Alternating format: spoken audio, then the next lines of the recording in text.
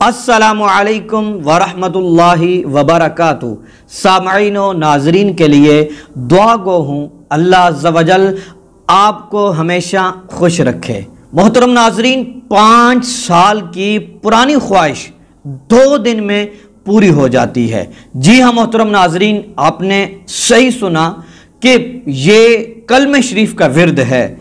अगर कोई शख्स इसको कर लेता है, इस पर अमल करता है, इस वजीफे को अगर कोई बंदा अपनाता है, उस बंदे की बड़े से बड़े जो हाजत होती है, बड़े से बड़ा जो मकसद होता है, वो दो दिन में मुकम्मल हो जाता है। तो मोहतरम नाजरीन, ये मैं नहीं कह रहा, बल्कि एक बंदे ने इंडिया से ये बताया कि उस शख्स ने कलमे का विरद किया। उस शख्स की दो दिन के अंदर हाजत पूरी हो जाती है और इस अमल की वजह से पुरानी ख्वाहिश थी। उसने कहा कि मेरा एक बहुत बड़ा मकसद था।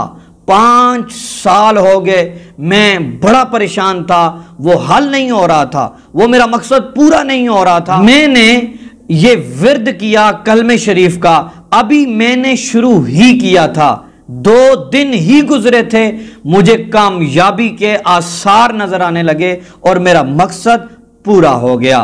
तो मोहतरम नाजरीन, कलम शरीफ में पावर इतनी है। कलम शरीफ के अंदर जो है, ताकत इतनी है। अगर कोई शख्स इसको अपनी जबान पर जारी कर लेता है बड़े बड़े मसाइल उसके ख़त्म हो जाते हैं। बड़ी बड़ी हाजतें पूरी हो जाती हैं। मोहतरम नाजरीन, आज कौन सा ऐसा बंदा है कि जिसका कोई मकसद ना हो? कौन सा ऐसा बंदा है कि जिसकी कोई हाजत ना हो? कौन सा ऐसा बंदा है कि जिसके पास मसाइल ना हो? कौन सा ऐसा बंदा है कि जो परेशान नहीं है? हर बंदा परेशान है। लोगों के मसाइल इतने बने हुए हैं कि लोग खुदकुशी करने पे आए हुए हैं। अगर आपके ऐसे मसाइल हैं, कोई हाजत है काम अटके हुए हैं, काम हो नहीं रहे, बड़ी सी बड़ी आपकी हाजत है। तो मोहतरम नाजरीन, इस वजीफे को आपने अपनाना है। फिर देखिएगा कि इन आपका काम दो दिन में हो जाएगा। मोहतरम नाजरीन, सिर्फ़ हमें क्या करना होता है? यकीन करना होता है। यकीन कामिल हमें करना होता है। हदीस कुदसी में आता है, मेरे आकाल सलाम इरशाद फरमाते हैं कि मैं बंदे के साथ वैसा ही मामला फरमाता हूँ जैसा बंदा सोचता है, जैसे, जैसा बंदे का गुमान होता है। हमारा जैसा गुमान होगा, अल्लाह तबारक वाली वैसा ही मामला फरमाएगा।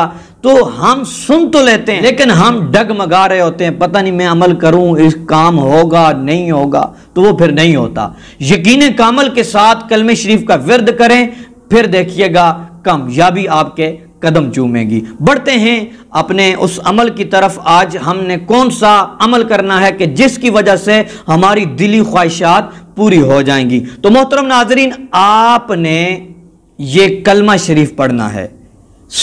सत्तर हज़ार मरतबा आपने पढ़ना है। ला इलाहा इल्लल्लाहु।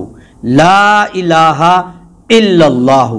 मोहतरम नाजरीन, सत्तर हज़ार मरतबा पढ़ना है। चाहे ये दस दिनों में ख़त्म करें, एक दिन में सत्तर हज़ार मरतबा पढ़ लें, या फिर पाँच दिन में पढ़ लें तो आपने ला इलाहा इल्लल्लाह, ये आपने रोज़ाना की बेस पे जितना आप पढ़ सकते हैं, आप पढ़ें। पाँच दिन लगते हैं, दस दिन लगते हैं, आप इसको पढ़ना शुरू कर दें।